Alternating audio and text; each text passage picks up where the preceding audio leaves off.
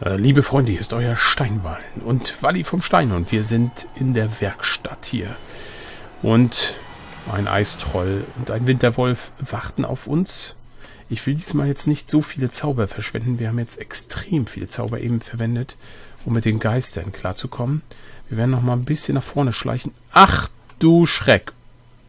Was ist denn das bitte? Ich fasse es nicht. Okay. Soweit zum Thema, ich werde mal nicht so viele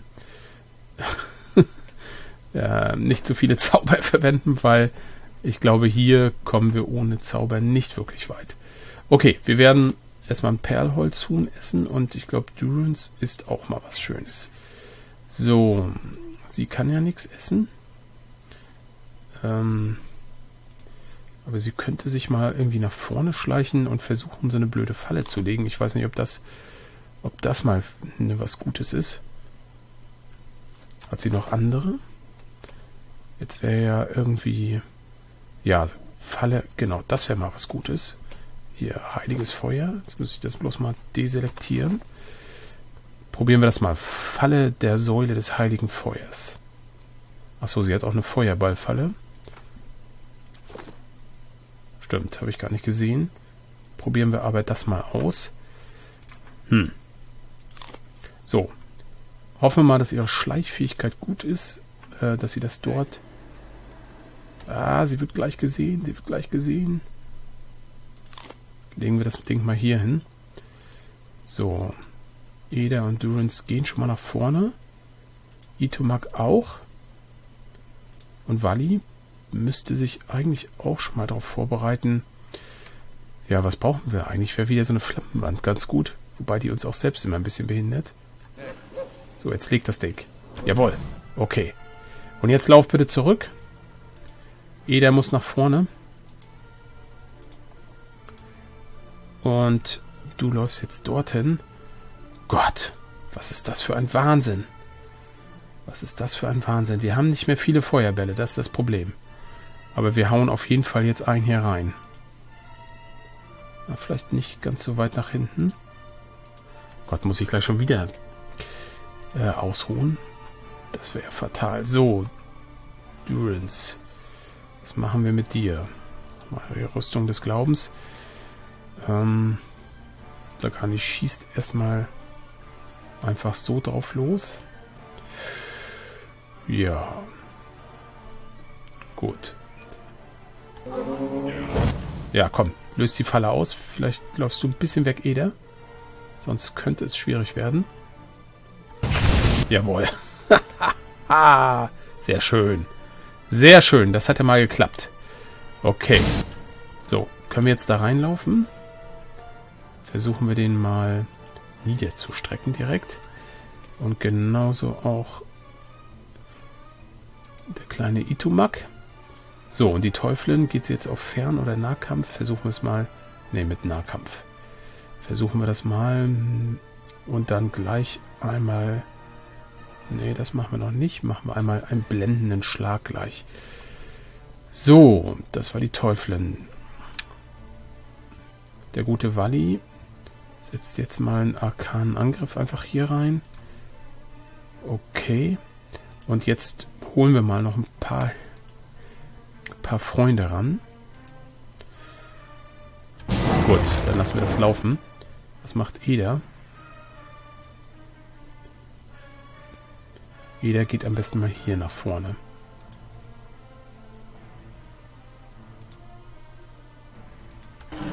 Was machst denn du da?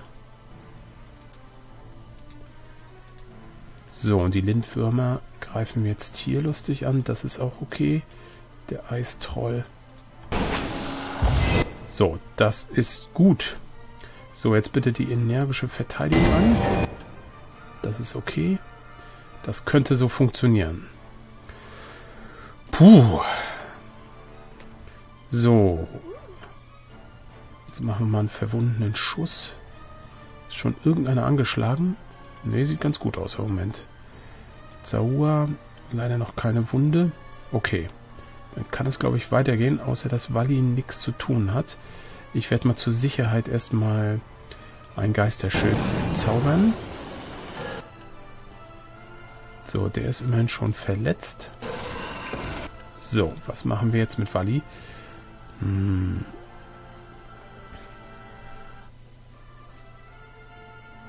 Machen wir mal verbrennende Wunden.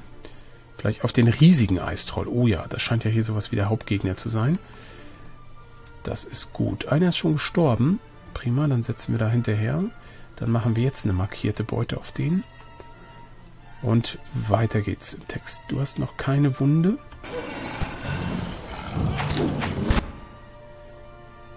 So. Außergewöhnliche Verteidigung. Der Zauber scheint daneben gegangen zu sein.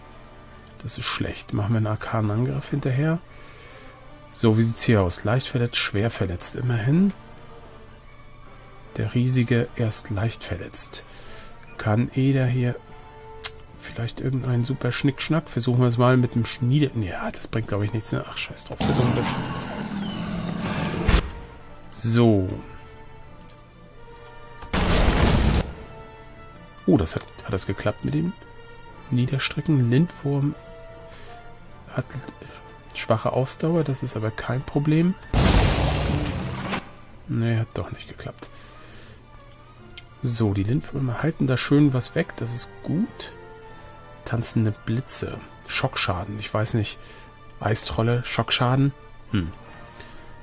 Glaub nicht. Bringt nichts. Greift weiter nochmal an. Walli hat derzeit nichts zu tun. Er könnte aber jetzt mal hier Schriftrolle des Hirschgeweiß. Stichschaden. Ich glaube, Stichschaden ist auch nicht so das Wahre. Aber wir setzen es trotzdem mal ein gegen den riesigen. Versuchen wir es. Nee, ja. Das war, glaube ich, nicht schlecht, oder? Wally? 43 Stichschaden. Das war gut. Gut, prima. Der ist bewusstlos. Dann glaube ich... Hm, gehen wir mal weiter gegen den bewusst... Ach nee, der ist tot, oder was? Fällt er um? Lebt er noch? Was ist denn das? Dem Tode nahe. Aber wir können ihn nicht angreifen? Hm. Dann greifen wir den hinten an und die Teufelin macht das jetzt zu Ende. Jetzt nehmen wir mal weiter unseren... Haben wir hier einen Zersetzungsschaden? Die sind, glaube ich, Wucht. Naja, versuchen wir es mal mit Wucht. Oh Gott, der ist erst leicht verletzt. Ich glaube, da muss, ähm, da wird Durance jetzt mal was tun müssen.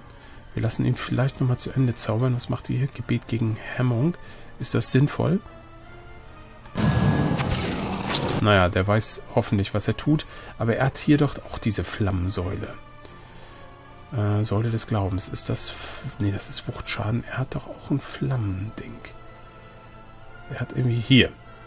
Säule der, des heiligen Feuers. Genau, das ist doch was gegen den riesigen jetzt. Das scheint mir gut zu sein. So, Hieb der tausend Schleier. Nee, das ist Quatsch. Nochmal Minolette einfach gegen den. Lindwurm ist gleich besiegt. Das ist natürlich schlecht. So, jetzt ist der endlich hin. Sehr gut. Jetzt kann die Teufelin gegen den gehen. Versucht doch noch einmal zu blenden.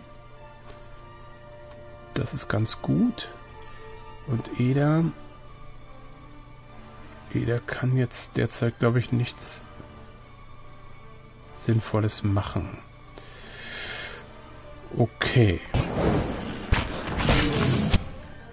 Gut, der Lindform geht doch mal bitte gegen den Großen und gleich... Gleich kommen wir mit der... Uh, das war viel Schaden. Das war viel Schaden. Sehr schön. Sehr gut. So, können wir hier ein bisschen ähm, Genauigkeit und Schaden. Machen wir das mal hier rein. Für die beiden. Jawohl. So, die Teufelin, die kann jetzt mal Konzelhaut machen gegen den Troll.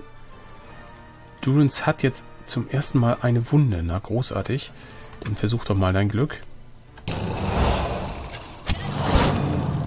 Oh ja, dem Tode nahe. Hier kommen wir gut voran. Das macht Konzelhaut. So, der ist gleich hin, der ist schon bewusstlos. Dann bleibt nur noch der riesige Eistroll.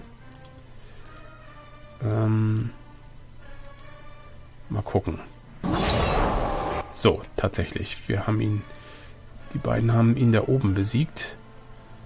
Ich will jetzt nicht... Oh Gott, wir haben kaum noch Zauber. Hm. Eigentlich kann ich mit Wally nichts mehr Sinnvolles machen. Ich will, ich stelle ihn in die Ecke. ich will jetzt nicht noch weitere seine, seine Wert... Hä? Der ist noch gar nicht tot?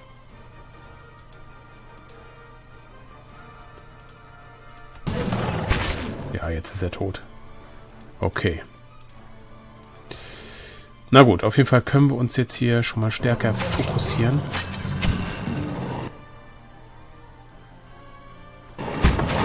Jeder hält sehr, sehr gut durch. Das ist erfreulich. Und er macht, macht gut Schaden. Prima. Dem Tode nahe. Durance gefällt mir gut. So, jetzt kommt, schlachtet ihn ab. Jawohl. Prima. Nur noch ein normaler Eistroll. Der natürlich auch durchaus Schaden machen kann, aber... Huh, wir haben es geschafft. Die stehen immer wieder auf und jetzt wendet er sich nochmal Wally zu. Ich fasse es nicht. Können wir noch was tun? Dass Wally keinen Schlag mehr abkriegt? Ja, Gott sei Dank. Okay, das ging ganz glimpflich aus. Ja, wenn wir nicht, wenn wir es nicht mit Gegnern haben, die irgendwie zaubern können, dann kommen wir eigentlich sehr, sehr gut klar. Aber so Geister ist so das Übelste. Aber ist ja auch nicht ganz unrealistisch wahrscheinlich. Wenn man in diesem Zusammenhang von Realismus sprechen kann. So, was haben wir denn hier überhaupt? Wir haben einmal eiskalte Zugluft pfeift durch die eingestürzte Mauer. Offenbar ist etwas von außen hindurchgebrochen. Hm. Kam hier etwas rein? Ja, wir haben was entdeckt. Aber wir schauen uns erstmal hier um. Diese Schriftrollen katalogisieren die Mengen an Erz und Mineralien, die aus den Minen entnommen wurden. Und was hast du entdeckt, Wally? Eine neue, außergewöhnliche Pistole und noch ein Siegel. Ähm, das ist jetzt, glaube ich, das zweite Siegel, oder? Jetzt gucken wir doch mal direkt hier in die Quest-Gegenstände. Tatsächlich. Wir haben Siegel des Helms und Siegel des Schwertes. Hm, wie immer in solchen Sachen wird es vermutlich drei Dinge geben, die wir brauchen. Könnte ich mir vorstellen. So, aber wir wollen hier nochmal reinschauen in diese vereisten Truhen. Und wir sehen hier einen schönen Helm. Einen gehärteten Helm. Plus 3 Macht für 20 für pro Tötung. Ist ja interessant. Und der ist ja gut. Verteidigung gegen Humpeln. Bewegungsunfähig gelähmt. Das wäre doch gleich was für Saua. Dem mussten wir doch den Helm wegnehmen. Und wir finden wieder Rastvorräte. Das ist ja auch toll. Und Durgan Eisenbachen. Okay, das hat sich hier gelohnt. Auf jeden Fall. Und was ist das? Noch eine Scheibe. Diese dicke Scheibe aus dunklem Stein ist mit verschiedenen seltsamen Symbolen verziert. Von der Mitte zum äußeren Rand verläuft eine kleine Steinerhebung, die nach außen zeigt. Hm. Okay. Wir kriegen hier einige Questgegenstände, wo ich überhaupt noch nicht ahne, was es sein kann. Zum Beispiel diese Dorgan-Eisenbachen, von denen wir jetzt schon zwei haben. Sehr mysteriös. Hier haben wir noch nicht geguckt. Diese Karte zeigt die Minen. Verschiedene Tunnel und Engpässe sind mit Pfeilen und Kreuzen versehen. Es scheint sich um einen eilig ersonnenen Schlachtplan zu handeln. Gut, aber was wir nicht vergessen wollen, ist Zahuas Helm. Ich schaue mir mal das an, wie das jetzt aussieht. Oh ja, hier ist einiges allerdings unterdrückt. Leider. Hm, aber einiges auch nicht. Na, ist sicher das Beste, was jetzt zur Verfügung steht. Insofern werden wir das auch so lassen. Okay, ich habe auf jeden Fall die Lore nicht vergessen. Wir werden aber hier trotzdem erstmal nochmal weitergehen und gucken, was hier noch auf uns wartet. Oh, oh, oh, was passiert denn jetzt bitte? Nein, nein, nein, bitte nicht. Gespenster.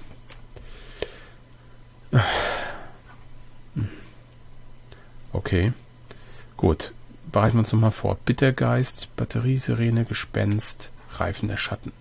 Also alles, was gibt. Was gibt? Was ist das für ein Deutsch? Ähm, ich gucke nochmal kurz. Batteriesirene. Da wissen wir noch nicht sehr viel. Zersetzung. Und Bittergeist. Da ist nix. Ganz schlechte Schadensreduktion.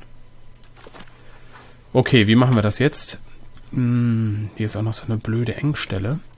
Normalerweise ist so eine Engstelle ganz gut, aber in diesem Fall bei den Geistern bin ich mir nicht so sicher, ob das so sehr hilfreich ist. Ähm, vielleicht können wir diese... Ta Ach Gott, sie sehen uns schon. So weit können die gucken? Das kann doch nicht wahr sein. Aber sie greifen uns nicht an, oder was ist das? Ich bin am überlegen, ob wir hier noch eine schöne Falle haben. Ähm, versteinert irgendeine schöne Falle, die vielleicht Zersetzungs- oder Brandschaden macht. Ja gut, vielleicht die Feuerballfalle. Die wäre auf jeden Fall gut. Ähm, vielleicht versuchen wir das mal. Legen wir das Ding mal hier so in den Weg. Mal gucken, ob sie gesehen wird. Ah, sie wird gleich gesehen.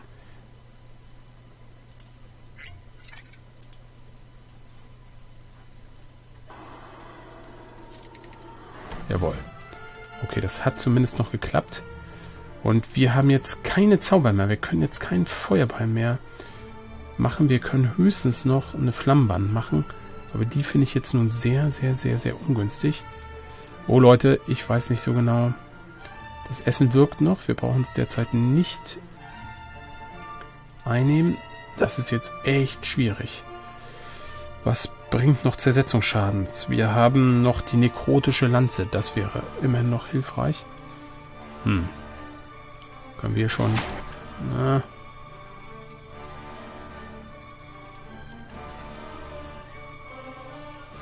Ja. Die Falle ist zumindest ausgelöst. Sehr gut. Okay, dann geht mal ran an die Gespenster jetzt hier. Mutig voran. Ja, leider hat Zahua auch ein bisschen was abgekriegt. Aber damit kommt er klar. So, die sind immerhin schon mal verletzt. Das ist ganz erfreulich. Itomak versucht sich da auch durchzuarbeiten. Wir werden mal hier in den Fernkampf gehen. Hm.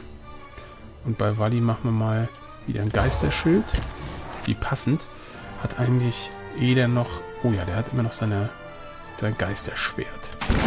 Sehr gut.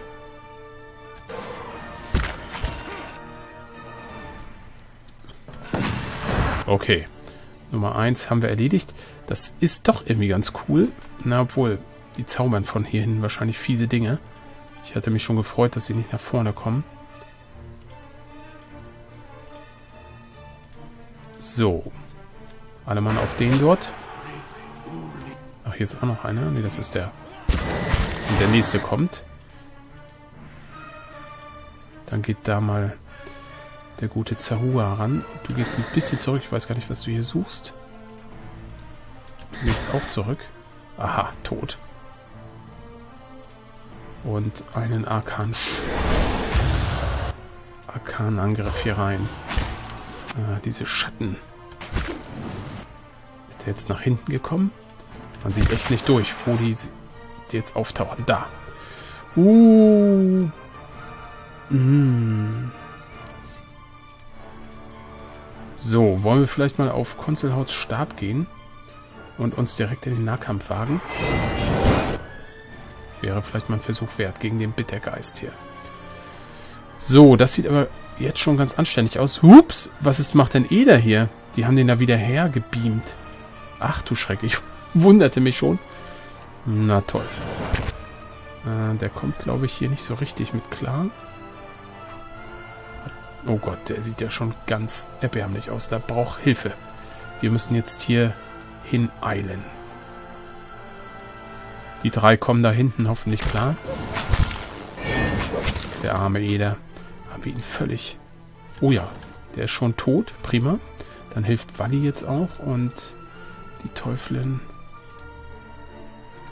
So. Eder, halt noch ein bisschen durch. Hilfe ist, Hilfe ist nah.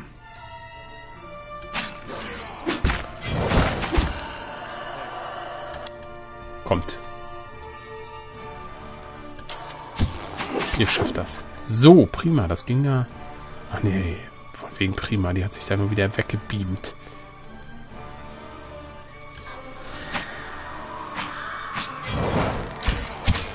Die machen auch Heilung. Mmh, die sind sowas von unangenehm. Jetzt hat sie schon wieder alle möglichen Leute gelähmt, aber sie ist hin. Jetzt dem Tode nahe. Komm. Puh. Oha, das hat hier nochmal ganz schön viel Ausdauer gekostet. Aber wir haben es geschafft. Etwas besser als das letzte Mal. Aber auch nur etwas. Sie sehen schon wieder sehr, sehr, sehr angeschlagen aus. Gott sei Dank haben wir aber Rastvorräte bekommen. Ist hier noch was einzusammeln? Ja. Okay, liebe Freunde. Das haben wir erstmal überstanden. Das ist doch hier ziemlich heftig, was uns hier entgegengeschickt wird. Wir werden jetzt noch diesen letzten Rest erkunden und dann hier den Lorentunnel benutzen. Mal gucken, ob wir das in der nächsten Folge schaffen oder ob wieder Gespenster sich uns in den Weg stellen. Bis dann, macht's gut, euer Steinball.